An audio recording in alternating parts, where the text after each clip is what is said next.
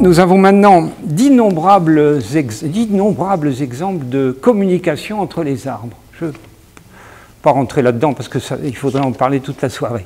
Mais ce qui est clair, c'est que ces arbres n'ont pas de cordes vocales. N'empêche qu'ils se font entendre par des moyens qui ne sont pas les mêmes que nous, mais ça marche tout aussi bien. On me demande parfois si ça fait souffrir un arbre quand on coupe une grosse branche. Alors la position scientifique la plus orthodoxe, c'est de dire on n'en sait rien. C'est vrai qu'on n'en sait rien.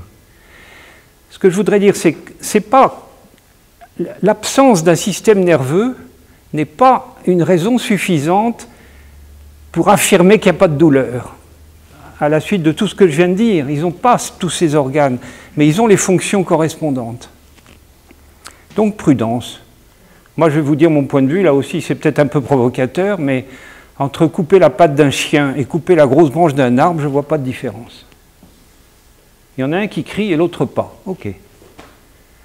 Mais je me garderai d'affirmer que l'arbre ne souffre pas. En tout cas, que ce soit un chien ou un arbre, la plaie est un point d'entrée pour les parasites et les pathogènes. C'est ce que j'ai dit tout à l'heure.